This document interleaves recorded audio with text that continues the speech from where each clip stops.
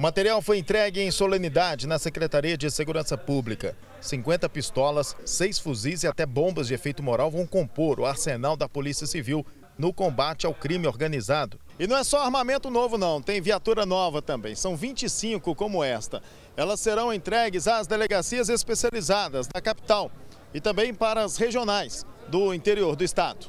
O GT3 é o grupo que enfrenta as situações mais difíceis dentro da Polícia Civil do estado de Goiás. É um pessoal que tem que estar bem treinado, está, está bem armado, bem equipado e o que nós estamos fazendo hoje é equipá-lo melhor. Esta é a última etapa da compra de armamentos e viaturas para a Polícia Civil de Goiás. As aquisições começaram em 2008. Hoje já está sendo utilizado, no, principalmente no combate às organizações criminosas.